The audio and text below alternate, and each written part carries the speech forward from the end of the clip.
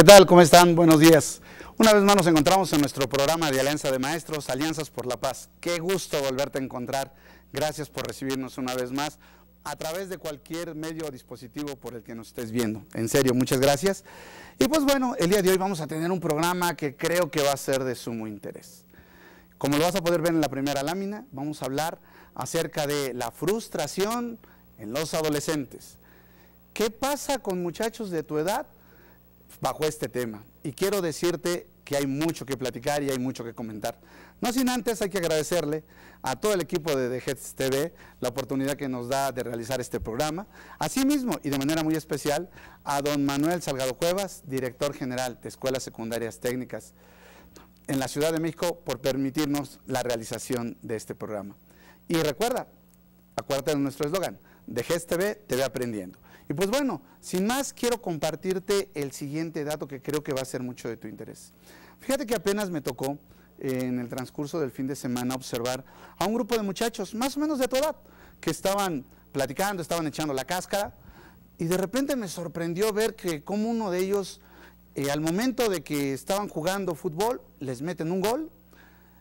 El amigo, más o menos, yo creo que tendría 13, 14 años, empezó a gritar desaforado que no había sido gol, empezó a gritarle a todo mundo que no había sido gol, y total, al cabo de, al cabo de la discusión, el amigo hace un verdadero berrinche que termina gritando y pataleando en el suelo. Ese ejemplo que te acabo de comentar es un ejemplo muy claro de lo que es una frustración. Y tú dirás, oye, ¿por qué a mi edad voy a tener frustraciones? Por varias razones, pero te quiero ver que, nos acompañes en la siguiente lámina. Y podrás observar que, como bien lo dice la siguiente lámina, la frustración es una vivencia emocional que se presenta cuando un deseo, un proyecto, una ilusión o una necesidad no se llega a satisfacer o a cumplir.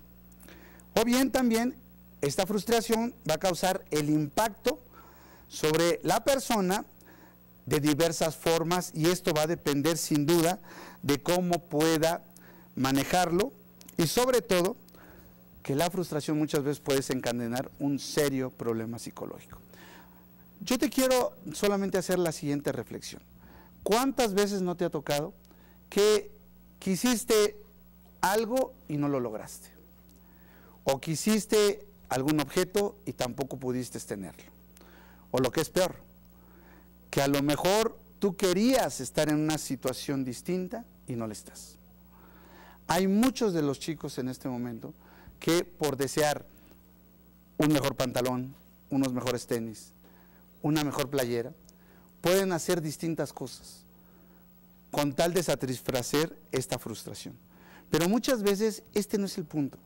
El punto es que la frustración, como ya lo vimos, es una vivencia emocional que hoy en día los chicos no están sabiendo canalizar y entender.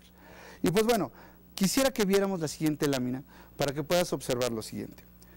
Cuando un deseo o una ilusión no se cumplen a causa de la frustración, ya seas adulto, adolescente o niño, vas a experimentar en mayor o en menor grado este sentimiento de enfado, de tristeza o de angustia y muchas veces de ansiedad.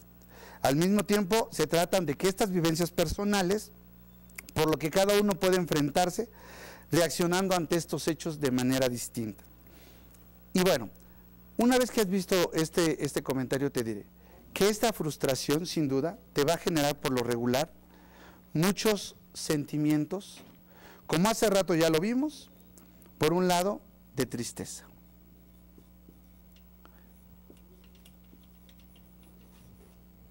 En ese sentido, ¿sí? Y pues bueno, esta tristeza que tú puedes observar y que puedes refrendar, la vas a canalizar de distintas maneras.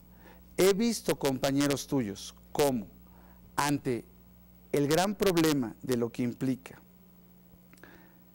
el no poder tener las cosas, van y hacen lo posible por quererlas tener. ¿Y esto en qué va a derivar? En que muchas veces esta tristeza, esta frustración, como ya lo dijimos, ¿sí? te va a generar un amplio margen de poder realizar distintas cosas que tal vez no te das cuenta, pero que puede estar muy cerca. Ahora, te preguntarás, qué tipo de cosas me van, a decir que puedo traer esta frustración. Y quiero que compartirte la siguiente lámina para que la observes. Y pues bueno, te diré que en primer lugar es que tienes dificultades para controlar tus emociones. ¿Cuántos de tus amigos, por no poder alcanzar un objetivo, gritan, se estresan, manifiestan enojo de manera constante? Son más impulsivos e impacientes. ¿Te ha tocado observar al compañero o a lo mejor tú mismo cuando le dices a tu papá, oye, necesito el libro para mañana y te dice tu papá, oye, no va a haber dinero para mañana, ¿qué sucede? Muchas veces te enojas, eres impulsivo, no logras contener esta parte. Otro elemento es que vas a buscar satisfacer necesidades de forma inmediata, por lo que cuando debes enfrentarse a la espera o postergación de la necesidad, pueden tener rabietas y llanto fácil. He visto muchos chicos como cuando de repente piden algo, ya sea de la escuela o alguna necesidad personal, y el padre le dice, no hay en este momento, he visto como muchos de repente se les empiezan a poner los ojos rojos. Este es un referente de la frustración que están sintiendo y eso no les va a ayudar en nada. Otro también es que pueden empezar a desarrollar verdaderos cuadros de ansiedad y depresión. Hay chicos que cuando de repente la economía familiar no alcanza, empiezan a sentir esta ansiedad y depresión por no tener para las copias, por no tener para poder cumplir sobre alguna de las materias que le están pidiendo, o tan solo tener que esperar, como hace un momento lo vimos, para poder tener el libro. Esto les genera grandes problemas de ansiedad y muchos, déjame decirte un detalle, están teniendo problemas gastrointestinales. Es decir, que esta presión o esta depresión o esta frustración la están canalizando hacia el estómago, cosa que están teniendo algunos ya empiezan a tener, aunque tú no lo creas, problemas de gastritis. 13, 14, 15 años, chicos que empiezan a tener ya problemas de gastritis en ese sentido. Ahora bien, muchas veces creen, por esta frustración, que todas las cosas giran alrededor de, estos chicos y que lo merecen todo y que tienen que darle todo. ¿Por qué razón? Porque encuentran injusto el tema de los límites. ¿Te ha pasado de repente que tu papá te dice o tu mamá, oye, hoy no vamos a poder comprar esto, lo compramos la próxima semana y ya te estás enojando? Ya te estás molestando con ellos.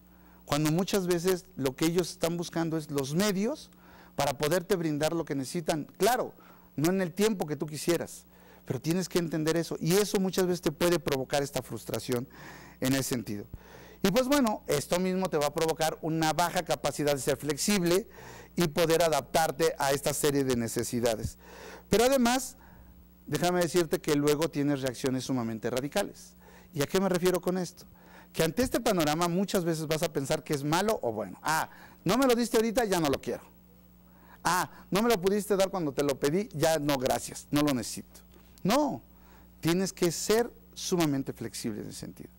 Pues este tipo de referencias que te acabo de platicar nos van a dar la pauta para decir si estás en este cuadro de frustración en ese sentido. Pero además déjame decirte un dato todavía mucho más complicado y quiero que juntos compartamos la siguiente lámina. Hay muchos de tus amigos que pueden estar teniendo una frustración y esta frustración puede llevarlos al suicidio. Puede llevarlos a querer tener o querer desear tener dinero fácil. Me he estado encontrando con muchos muchachos que de repente dicen, yo quisiera tener tal cosa. Y como mis padres no me la pueden dar, me empiezo a meter en cosas raras para trabajar. Y hay muchos chicos, desafortunadamente, que se están metiendo dentro del narcomenudeo con tal de obtener dinero para poder satisfacer sus supuestas necesidades. Otro problema que estamos teniendo es desear una vida que de momento no tienes. ¿Cuántas veces no te has encontrado con compañeros que piensan o quisieran ser, tener mejor, mejor posición económica, mejor ropa, mejor manera de vestir? Y eso es parte de una frustración que los lleva muchas veces a empezar a buscar, o ya sea amistades o conocidos que no les van a dejar nada bueno en el futuro en ese sentido. Y otro, es desear tener bienes a cualquier precio. Y me he encontrado que muchos chicos, por no tener lo que buscan, empiezan a robar, empiezan a agarrar lo ajeno. Y déjame decirte algo, estos cuatro grandes referentes que te acabo de platicar, todos, todos, absolutamente todos, a excepción del tema del suicidio, tarde o temprano te van a llevar a delinquir. Y el delinquir va a implicar que tengas que ajustártelas con la ley. Tienes que cuidar de una manera muy clara la frustración que puedas sentir. ¿Por qué razón? Porque también el saber controlar una frustración implica ya un proceso de madurez. Y hoy, a pesar de tus 13, 14, 15 años, es importante que lo empieces a entender. La frustración es una etapa que todos podemos tenerla, pero dependerá de ti cómo la quieras afrontar y qué es lo que quieras hacer. Pero quiero darte algunos tips que todavía nos van a ayudar mucho más para que puedas superar este tipo de frustraciones. Y quiero compartirte nuestra siguiente lámina. Punto número uno. Tienes que hablar con tus padres y pedirles que te den ejemplo en, una actitud positiva a la hora de afrontar, situaciones difíciles. Sí, no se vale gritar ante una frustración. No se vale eh, agarrar y echarle bronca a todo el mundo porque no pude o no, o alcancé a tener esto. No. El primer referente es un ejemplo de tranquilidad y coherencia en nuestra manera de ser. Segundo, hay que educarnos en una cultura del esfuerzo. Déjame decirte algo. Estás en una generación en la cual, como todo lo quieren inmediato, la cultura del esfuerzo ya no existe. No es al revés. Quiero decirte que por una cultura del esfuerzo es más fácil que puedas alcanzar lo que buscas y por lo tanto tendrás menos frustración. ¿Mm? Es importante que también aprendas a que no tienes que resumir todo ya hecho. Tú también tienes que colaborar. Te voy a poner un ejemplo muy simple que pasa todos los días en tu casa. ¿Cuántas veces no ha pasado que te dicen, oye, si hoy lavas los trastes, fíjate que vas a, que entonces vas a tener la oportunidad de salir con tus amigos el fin de semana. Y a veces empiezas a echarle bronca a todo el mundo que por qué a mí los trastes y no sé qué. Bueno, eso es parte de nuestra cultura del esfuerzo. Hagamos algo para poder obtener un beneficio. Eso también es compartir y es parte de irlo madurando. Y tú, mejor que nadie, lo sabes ahora que estás en este proceso. Ahora bien, no puedes ceder a las rabietas. A ver, ya tienes 14, 13, 15 años, ya no eres un niño. Eres un adolescente que vas camino a, un proceso de madurez, ya no puedes hacer rabietas. Ya no puedes hacer el clásico ash que luego utilizan los muchachos o poner los ojos de, en tono de huevo como luego lo hacen para manifestar su frustración. No, ya no cabe en ti. Tienes que empezar en un proceso poco a poco de irlo madurando. ¿Y por qué te digo esto? Porque esto también va a ser un reflejo de tu personalidad. Y te voy a decir algo, muchos chicos que hacen rabietas a esta etapa, las van a seguir haciendo en su etapa de jóvenes. Y yo te pregunto, ¿quién te va a querer contratar en el futuro si eres un joven con rabietas? Nadie, absolutamente. En ese sentido. Tienes que aprender y tienes que entender que cada frustración que vamos enfrentando es un aprendizaje. Y tienes que aprender a sacar lo mejor de él. ¿En qué implicaría el aprendizaje? Ah, fíjate que hoy me di cuenta que para poder obtener tal cosa necesito hacer lo otro. Hoy me di cuenta que si quiero llegar temprano para poder estar a tiempo en un lugar, debo de pararme más temprano. Y no solamente enojarme por, con la mamá o con el papá porque no me despertaron a tiempo, no.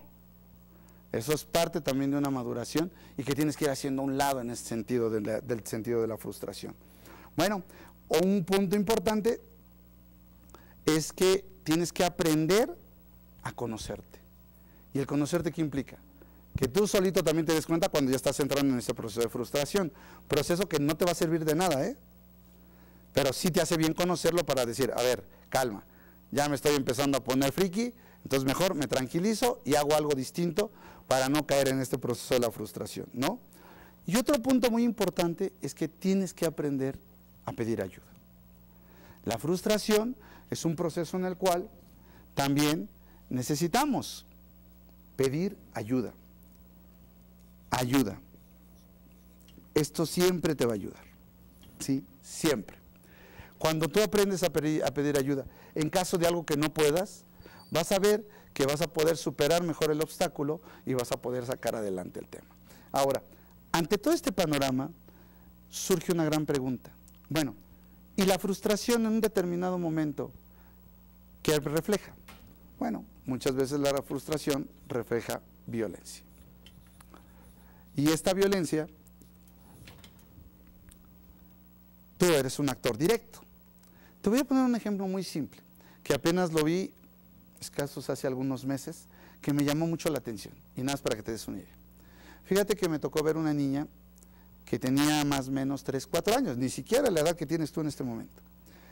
Y fíjate que esta niña se le hizo fácil, iba con su mamá, iban a, en el cajero, iban a accesar al cajero y la niña le empezó a decir, fíjate, 3, 4 años, le empezó a decir a la mamá, oye mamá, yo quiero oprimirle a las teclas. Y pues la madre de una manera muy prudente, pues obviamente no la dejó porque había una larga fila esperando el cajero. La señora llegó al cajero, hizo la operación y se estaba retirando. Pero cuando se estaba retirando, la niña le empieza a decir que te dije que yo quería oprimir el botón, no me dejaste y se le va a patadas y a manotazos. Y la madre lo que hace es contener a la niña y decirle, no, eso no está bien. Esto que, esto que vemos es el reflejo de una manifestación, de una frustración que esta niña empezó a tener. ¿Y de qué manera lo manejó? De una actitud violenta. Déjame decirte que a tu edad esta frustración es muy constante y la manifestación de violencia es constante. Muchas manifestaciones de frustración terminan en golpes, en broncas entre compañeros. Muchas veces porque envidias, desafortunadamente, y porque no, has madurado. Lo que el otro tiene, lo deseas de manera inconsciente y muchas veces generas rechazos, generas agresiones, tanto verbales como físicas. Y bueno, ante, este, ante esta serie de elementos que te acabo de brindar, tienes que ir entendiendo que la frustración es un proceso y una oportunidad que tú debes de transformar para hacerlo mejor. La frustración, bien encaminada, bien orientada, bien saltada, si me lo permites, te puede llevar a encontrar razones para ser mejor. En ese sentido. Y en la medida en que somos mejores, vamos madurando, vamos siendo mejores personas. Y entonces, ¿qué te quiero decir con esto? En la medida en que tú atenúas la frustración, la vas, la vas minorizando, en esa medida la violencia la vas evitando. Y entonces, si vas evitando la violencia, podrás ser una mejor persona, ¿qué es lo que necesita esta sociedad? Te voy a decir algo.